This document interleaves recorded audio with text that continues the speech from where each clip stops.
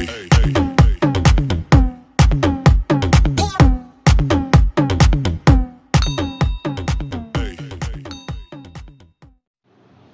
ayan guys, ah, mag-squeeze tayo ng cookies. Gagawa tayo ng cranberries cookies. Ganito guys yung ginagawa ko. Ayan, meron akong pang squeeze sa kanya para ano. Ayan, may nagawa na ako guys.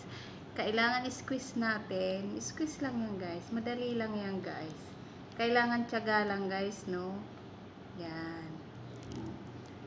So, ipakita ko sa inyo guys kung paano ko ginagawa.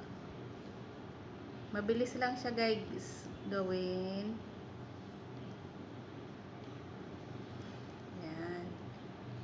Kapag ah, bake na yan guys, bababa naman yung ano, bababa siya, magiging flat siya.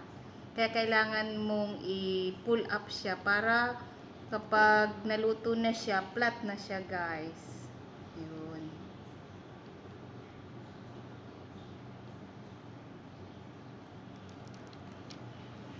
Last batch na to guys ng cranberries cookies dahil magpapahinga na rin ako guys dahil one week na lang New Year na Chinese New Year so ayan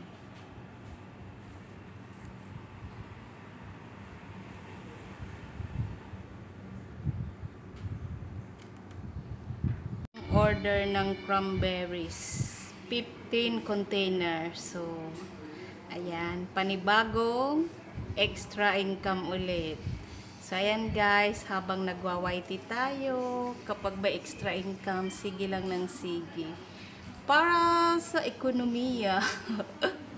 10 container guys. Plus 1 free yan para sa aking customer. Para naman ah, next year o-order ulit sila sa akin dahil madalas po naman umorder sila at lagi pong may free.